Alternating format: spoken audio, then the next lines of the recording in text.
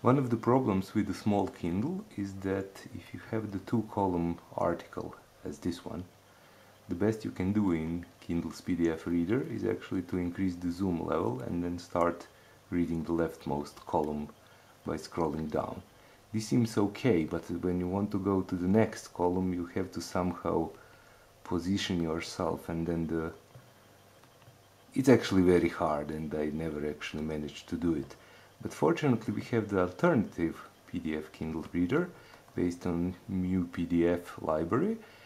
and under GPL v3 license in which we can select the same document even searching for the partial file name of the document. And then it will open normally and here we have the keyboard shortcuts for the zoom in which we can zoom to the arbitrary level. But we also have several predefined layouts and the new one and the reason for this video is actually this one which is especially designed for two column layout like this one. As you can see you see the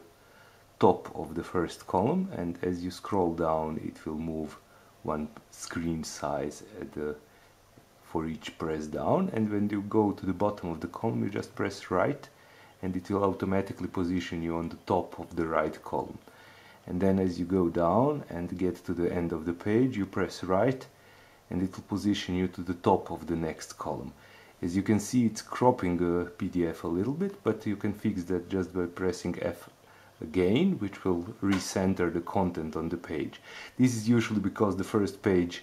usually has the title up there and as you can see the margin is larger here than here so you sometimes on the second page you have to fix that manually and you can scroll down and get to the back uh, to the bottom of the first column and just continue reading is, as is. As you can see this column actually is a continuation of the previous one. If you and if you press just left as I just did it will position you to the bottom of the previous column which is nice if you want to read back content scanning for something as in this example